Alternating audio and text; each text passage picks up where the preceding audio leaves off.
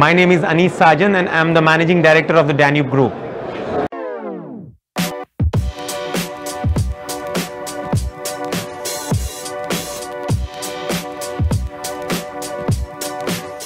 You tell us something about the company? Well, Danube is into three divisions. One is building material products where we are into B2B. Secondly, we are into B2C where we are selling from tiles to sanitary to hardware, electric to all the retail customers. And third, we have the Danube properties where we have got into development and so far we've launched seven projects. All right, that's good. Uh, what's your expectation for 2018? Well, we have grown 30% in Milano this year and I hope to grow 30% in 2018 also because we have our network which is very very strong spread across the Gulf and the right team. Wow, that's great. So, how was the exhibition so far?